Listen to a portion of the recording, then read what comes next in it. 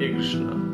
तो आज आप सबका स्वागत है। यदुकुला के पुरुषोत्तम मास डेली श्लोका रीडिंग में श्लोका रीडिंग बहुत ही प्यूरिफाइंग रही है आपके साथ पुरुषोत्तम मास में। यकीनन पुरुषोत्तम योग के आखिरी की तीन श्लोका रीडिंग भी बहुत ही एनलाइटनिंग रहेगी।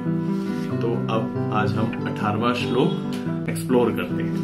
स्मात अतीतो अहम अक्षरात अपि चोत्तमा। अतो अस्मि लोके वेदे च प्रतितः पुरुषोत्तमा।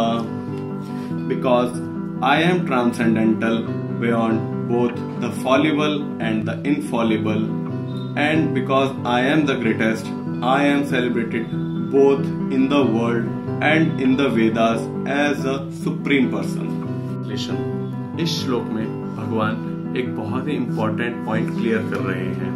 भगवान कृष्ण बता रहे हैं कि जीव, चाहे जिस भी अवस्थाओं में हो, अर्थात बद्ध या मुक्त, वो रहेगा भगवान श्री कृष्ण का ही अंश। वो पुरुषोत्तम है, उत्तम, यानी टॉप मोस्ट और यही परम सत्य है।